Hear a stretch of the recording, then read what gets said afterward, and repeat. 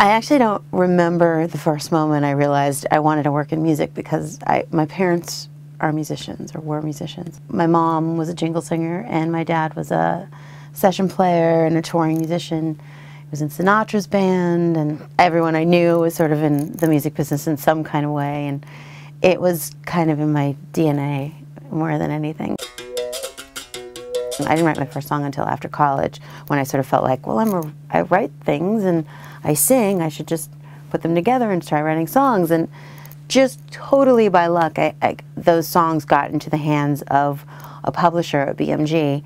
Clyde Lieberman, who was my publisher, was one of those early mentors that kind of changed the course of what I was going to do. After I got my publishing deal, um, I was still performing. I wanted to be an artist. I was, you know, writing for other people, but it was split. My time was split. I would say that my day job was writing dance songs to tracks, and then my night job was being in this girl band called Big Panty.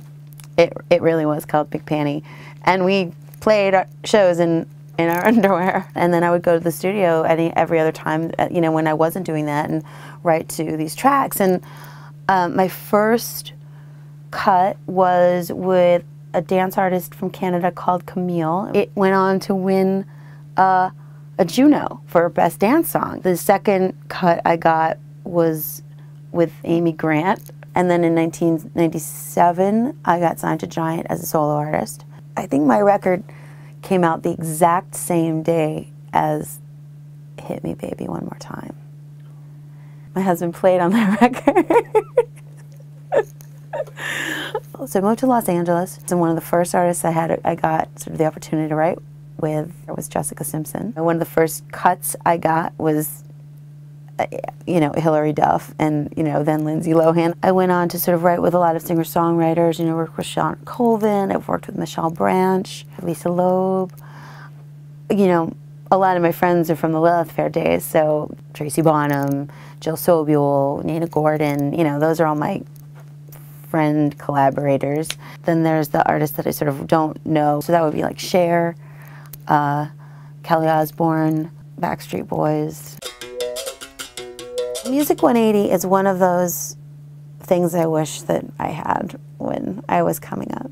I always sucked at the selling part of being a creative person. But I also happen to believe that some of the best artists are not the most secure. They're not the ones who are going to be picking up the phones going, Did you listen? Did you listen? Did you listen? You get your stuff out there, you have the commitment that they'll that someone will hear it. No one does favors. Like if the stuff you send is good, you'll get a real opportunity out of it. There's no guarantees, but but that's a great shortcut. Well, the feature I like the most is the sort of universality of it. Through this platform, you can basically you could stay you could stay where you live and still have the same access that someone in Los Angeles would have.